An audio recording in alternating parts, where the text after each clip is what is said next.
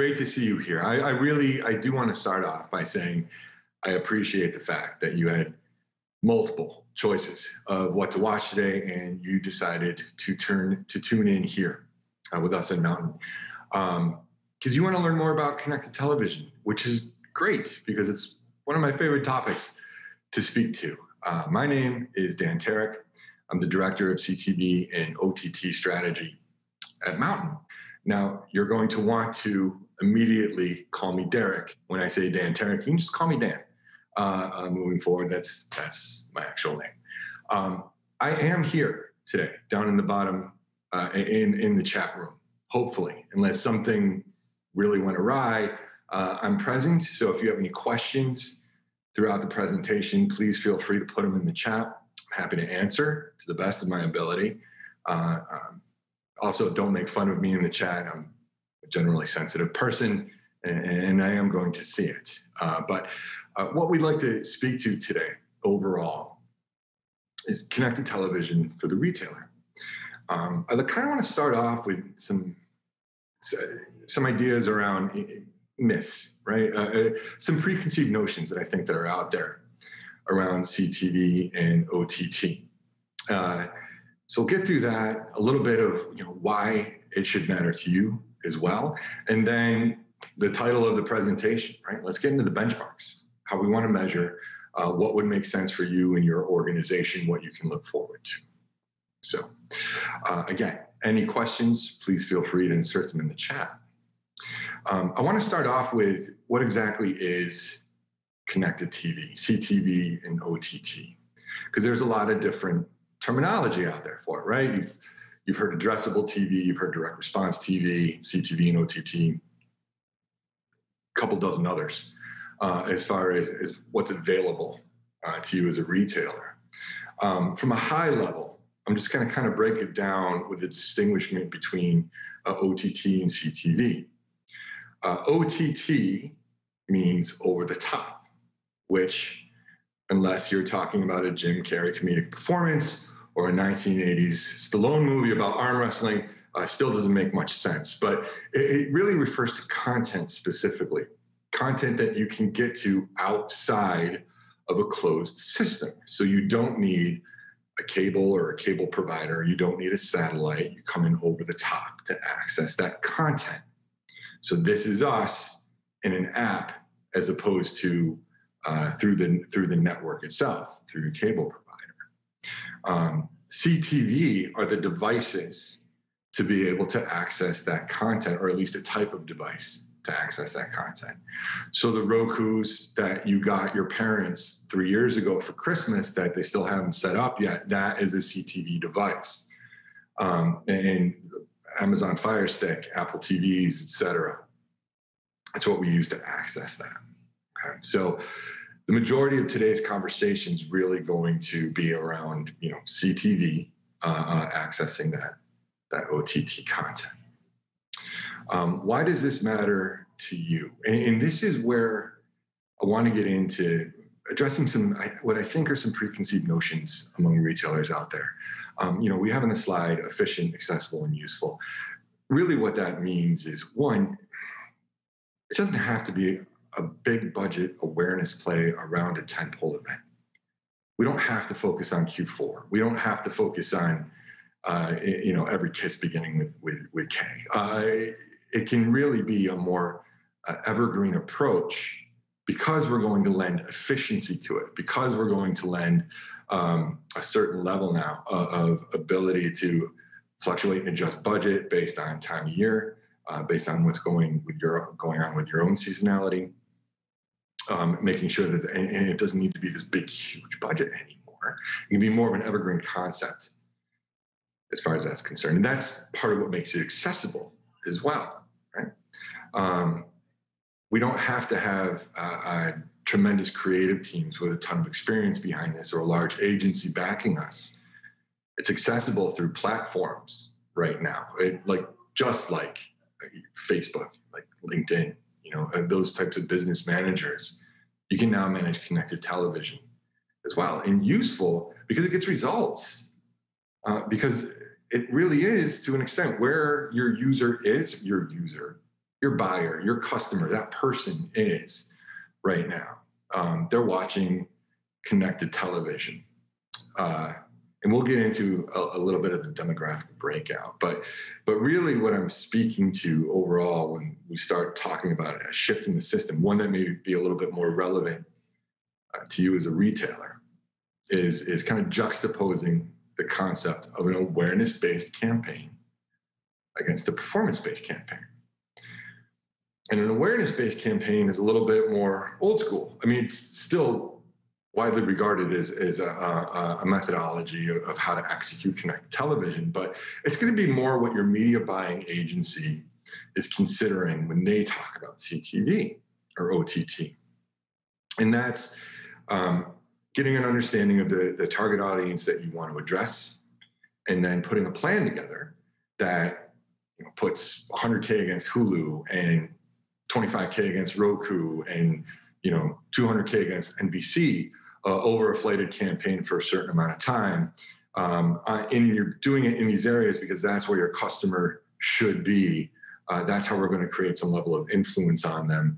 Um, and the deliverables, the measurables in that instance are impressions and the amount of users we reach, the percentage of the demographic or target audience that you want to speak to. What's variable in that is the uh, uh, the cost per acquisition, right? Conversions, return on ad spend. Those are variable. We don't know what we're going to get out of that just yet. Uh, we just know we're, we're, we're priming um, the pump for to use a term that we used to use 10 years ago uh, with, a, with an awareness-based campaign. Now, performance-based campaign takes that concept and it flips it on its head. With a performance-based campaign, what we're concerned with first and foremost is what is our cost per acquisition? What is our cost per visit? What is our return on ad spend? What is that metric that you as a retailer are already using, you know, in order to measure success, in order to explain success internally, in order to get an understanding of, of where you want um, uh, your time and your budget spent, right? Um, we're taking those metrics and we're gearing it towards that. What's variable is where we're going to appear right? It, it, if your user um, is predictably on Hulu, you'll have a bunch of Hulu. Uh, but if they're unpredictably watching Travel Channel on their uh, um, Apple TV, then great, we'll still be able to reach them in that manner uh, as long as it's efficient. Right? And, and that's kind of the difference between an awareness based campaign and a performance based campaign that's going to move that impression around based on where we're getting visits, and where we're getting conversions. Should work a lot more like a Facebook. It should work a lot more like uh, the social channels and, and, and, search channels that you're engaging today. Um, I want to. Is it relevant to you as far as your your customer is concerned? And, and this is an, another item that I think um, you know two years ago was more relevant conversation. But at this point, when you look at what's happened over the past year, you know, viewership on connected television has doubled overall. The inventory has doubled uh, for that for that reason. Um, there's 125 million roughly households in the United States. Uh, 30 some odd million baby boomers are now on connected television. Your audience is there. Um, and that's ever growing as well. You can see some of the quotes that are on the slide uh, uh from peers our, our myself and our organization just speaking to um, the increase not only in the ad dollars that are spent there, but really, really how much viewership is there. Uh, the, the, concept of a cord cutter and cord nevers and how that's ever growing, um, et cetera. So it's no longer I've got a product uh, that that really you know works for Gen Z or or or, or millennials, and I want to uh, get in front of them. Maybe I should consider connected television it's really turned into a medium where your customer is probably engaged pretty heavily there on a regular basis. Uh, and that's going to make it relevant to you because it's relevant to them. So, um, really, this just kind of recaps a lot of the things uh, I've said. The reason it should matter to you, right? We're targeting exactly who you want to. Now, when I say exactly who you want to, that can mean a lot of different things. You, I'm sure at this point as a retailer, you know who your customer is. You know who normally walks through those doors uh, uh, with, within your brick and mortar store or, or comes to visit you online. Um, you can absolutely target those people specifically, but you can also target people that are in market for your specific product set. So they don't have to fall inside that demographic anymore. Now we're getting a little bit more reach around the actual buyer themselves, right? So if you sell shoes or if you sell furniture or if you sell you know, whatever it is that, that's, that's in your stores at this point in time, and somebody's interested in purchasing that, you know, their, their competitor, your competitors are in their consideration set already. Um, uh, there's already you know, evidence that they're looking to buy. We can reach them, and we can reach them in a place um, that's a little bit more organic uh, and, and, and uh, uh, uh, more of a trusted source, right? Right in their homes, right in their living room, right now. And think about that for a second. Think about the difference between a television commercial and watching a user come back after viewing that television commercial versus an ad anywhere else on the internet right? With with a with a television commercial there is an intent. Somebody just saw your brand story for 30 seconds 15 seconds whatever that may be and decided that i would like to learn more about this brand about this product about this message as a whole. Um, so they intentionally went and, and put your your brand name into a browser and then visited the site. That's a lot different than ending up there because they conducted a search and maybe you don't have the content that they wanted exactly, or uh, they saw an ad on Facebook, they get a glimpse of what you do, and then they got to your site and they, they didn't really they didn't really see it. And with connected television, what we should be seeing is that um, your bounce rate is lower than it is from your other paid media channels. It should be lower than your site average. Your session duration should be higher those are some of the reasons it should matter to you because it matters to your customers and it engages them and helps bringing them right back. Uh, lastly, we can measure that, right? which is which is again we're getting to KPIs and benchmarks. Um, so let's talk about measurement. You know, what what what should what should measurement look like at this point? Well, as opposed to impression, as opposed to users reached, something along those lines, we're going to recommend uh, we use a little bit harder performance based metrics in order to measure connected television. Now, I, I can hear it from you, at least feel it coming off you. But Dan, I've done a little bit of research, and you know, Jeff Green from Trade Desk is talking about hearts and minds. Why are we using performance metrics? And we'll get into the exact reason why this is a better idea, not just because it's going to create more revenue, um, but it, it's going to allow us to optimize a little bit better. Uh, but those three metrics, those three key metrics we can look at are one, cost per visit. How much did I spend to get somebody back to my site? Right? Commonplace, easy. Uh, two, return on ad spend or cost per acquisition, whichever one you use to measure how much you spent in order to get a sale, a conversion on that end. And then lastly, assisted conversions, channel lift, because you know we're going to hold ourselves accountable to a last touch metric uh, but really, it, it, it, it is a first touch channel. So you should see other channels uh, increase in value as well. Those do better as well. So cost per visit. When should I use this? Right? When is the best time? Well, if you're an organization that's maybe you're a startup and i know it says that on a slide but but really you're just trying to grow a specific audience. It doesn't even have to be your total site audience. Here's an audience that we haven't really gotten uh, a lot of traction with yet. We want to try this channel to see if it creates some engagement there. Then great. Let's use a cost per visit. Let's see how much it takes to drive a user back and look at that against maybe either a, a, a core uh, uh, campaign or how much it would cost to get your normal shopper in, or you are just starting off as a whole and you really do just need some general traction from the people that should be buying from you already. Great, same concept. Let's use a cost per visit. Let's worry about that high quality site traffic. And again, high quality is two of the key terms here. Bounce rates are down, session duration is up, um, and how much uh, am I paying for each of those visits? Um, once we're a little bit more established, and you've got somewhat of a marketing mix going, and you are attracting your your your client base that you that you know you want to attract, or, or let's face it, it's Q4, and for client base or not, it's Q4 and, and, and you need conversions. This is it, sale time. Uh, let's use a return on ad spend or cost per acquisition in the same way you would with search, in the same way you would with social. Uh, if we want to measure success appropriately, let's track to that to that endpoint.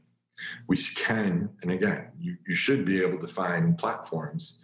Um, I know you can. We we we have one uh, that uh, that can that can do a, a cost per uh, uh cost per acquisition, uh, return on ad spend, um, effort towards that goal, and be able to track it on a, on a last touch attribution system, um, even though it is a first touch channel, hence assisted conversion and channel lift. Most common when you've got a good solid media mix going, right? You're you're running multiple different channels. You've got a few of them pretty well optimized already. Um, you know what you're getting to them uh, uh, on their getting from them uh, on their own right now, and you want to be able to provide some lift. So between you and I, you're also probably going to have to convince some people in your organization that this is a route to go. Um, even if they've heard of connected television or OTT, they haven't necessarily thought about it as a performance channel. Right? Uh, so that you know, th- that campaign that you pitched six months ago uh, in order to get some more budget for search or some more budget for social, that's going to look better as well with connected television. It's first touch channel again.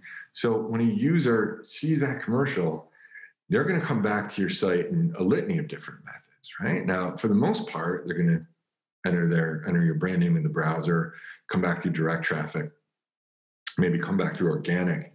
Um, but your branded paid search, that should go up. You should be getting more revenue for dollar spent on your branded paid search. It should be much more impactful. Your display, that should be more impactful at this point. Social is going to be affected. You're going to see um, significant lifts in the revenue each channel is able to provide based on the traffic that we are able to drive through connected television, that you're able to drive.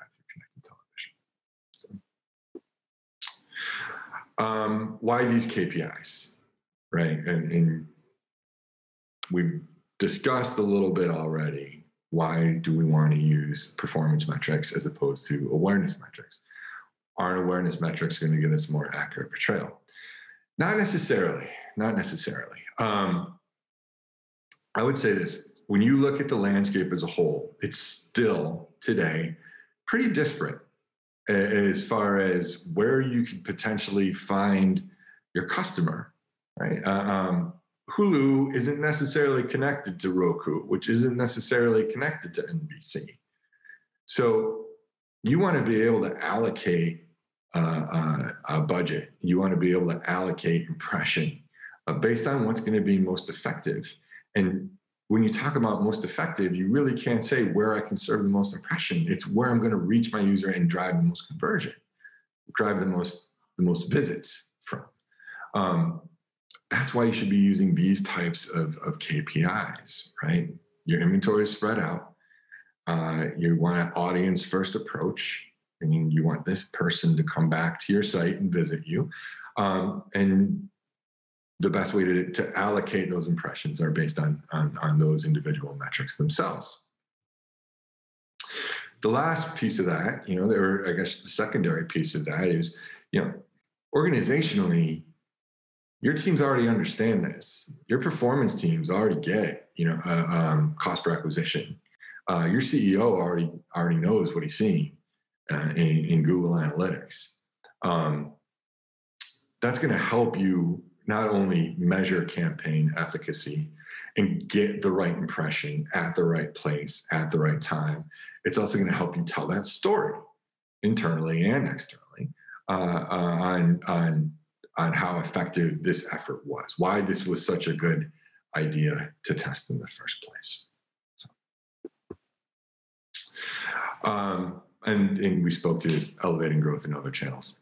Uh, so our average, and it's a smaller sample size um, that we've looked at when I come when I, when I give you these numbers, but our average increase for paid search revenue on a daily basis before and after, uh, and in a comparison of before and after CTV launches, is around 200%. That's a big lift in, in, in these other channels. And that's going to help you prove efficacy, not only for connected television, but for everything that you're doing right now. When we compare retargeting, right, from display only um, against connected television retargeting, same concept, still a first party audience that came to my site with the next amount of time, defining it the same way as I would with display. We're going to see an increase in return on ad spend between 15 and 38%. Right? That's that's kind of the range that we normally see. Your conversions are going to go up as a whole. Um, your visit rate is going to go up, along with all those peripheral metrics that we spoke to before. So. So, how can your ad platform help? Um, good question. You're convinced, you're sold, you want to explore this more at this point in time, and you think this is going to be a great idea. What are some of the key things that you need to look for as far as your ad platform is concerned, right? Well, one, um, does it do audience first targeting? Most likely, yes, to be honest with you. Most likely, your agencies and your ad platforms and everyone else is going to be doing some level of audience first targeting. They're going to get their their their uh, uh, in market audiences or demographic based audiences, uh, third party or otherwise, and be able to address them effectively. Um, the second aspect of it is does it provide the right mix of networks? And what do I mean by that? You have to have some level of of uh, uh, um, uh, uh, some level of elasticity behind who you're able to reach and on what networks you're able to reach because your users are moving all over the place, right? Your users can be on Hulu, uh, then they can be on Discover, um, and they can do that both in the same day. So you need to make sure you've got coverage uh, and a good amount of networks, right? Now, that doesn't mean you have to be on uh, um, something that isn't in a cable package. Uh, I don't necessarily know that you're going to get the same efficacy from those channels anyway. Those are good for reach, um, not necessarily great for performance, um, but enough to be confident in the fact that you're going to be able to uh, get to your customers in the way that you need to, right place, right time. Um, you want to make sure there's automated media buying behind that platform in order to make sure that you are reaching customers in the right place at the right time. There are several organizations that do automated media buying. Um, uh, uh, and and you know it, it, it's a it's a bit of a shift necessarily from your media buying organization. They're going to be a little bit more manual probably, but if you can make that automated, have that impression move around in real time, all the better. Um, and the last aspect of it, impressions served to the right viewers based on it's just really a summary of the other three points. so, uh, I want to share with you a customer success story. Um, and this is what I, this is where we get back into the relevance to a retailer right now. Right? Pros Closet.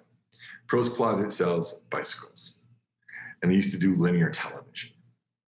And think about the linear television buy. One, you have to have a decent amount to invest up front right?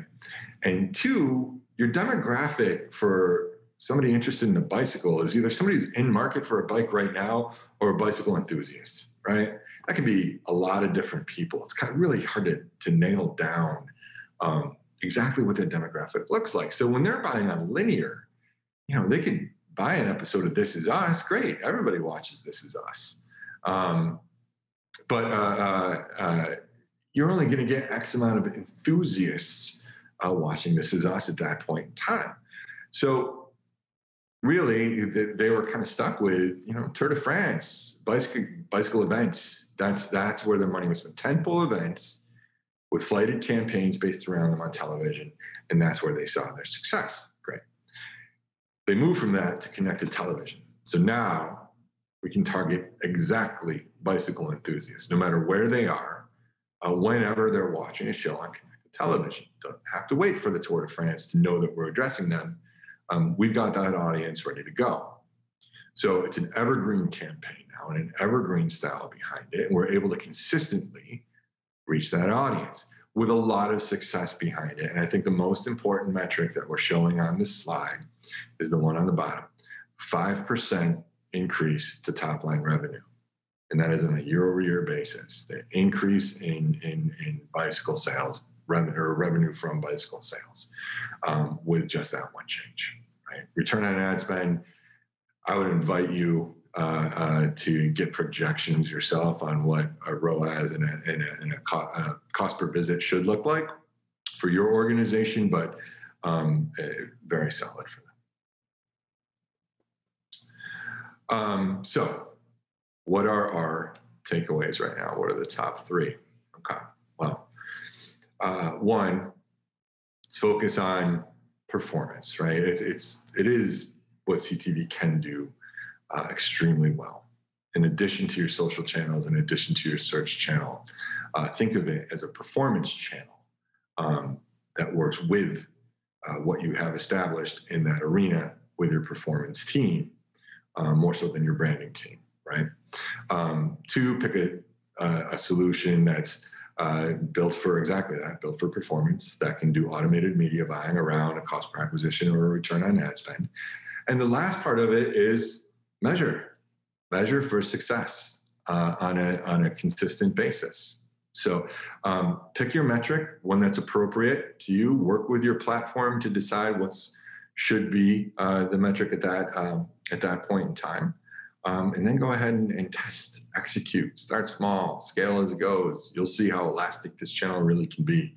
Um, it, it's uh, uh, uh going to give you great results and, and it's going to um, uh, really be relevant and impactful, not just to you, but to your entire organization.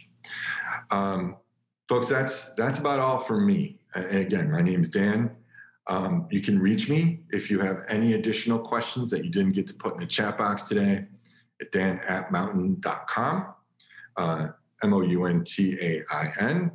Um, so uh, I've been there a while, so I get my my first name. I'm that guy. I'm very proud of that. And uh, uh, yeah, yeah. And I hope to hear from you soon.